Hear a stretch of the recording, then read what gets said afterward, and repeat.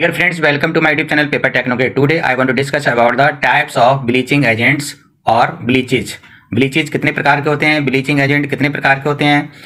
किस बेस पर उनको क्लासीफाई किया गया है? उसके बारे में हम लोग समझते हैं। Number one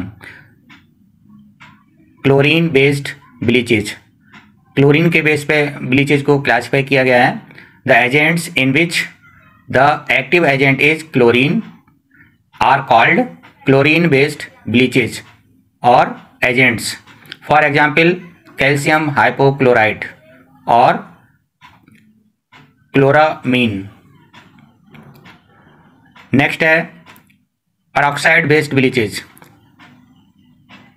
bleaches whose active agent is oxygen और कॉल्ड परऑक्साइड बेस्ड ब्लीचेज और एजेंट ऐसे ब्लीचेज जिनमें एक्टिव एजेंट ऑक्सीजन होता है, उनको हम परऑक्साइड बेस्ड ब्लीचेज और एजेंट्स कहते हैं।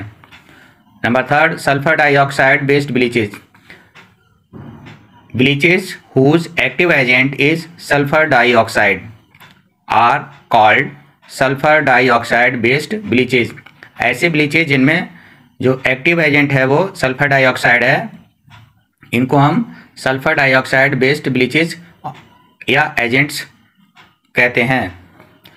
These bleaches are used in different industries and household cleaning process thank you friends video अच्छी लगे तो कृपया लाइक करें शेयर करें और चैनल को सब्सक्राइब कर दें।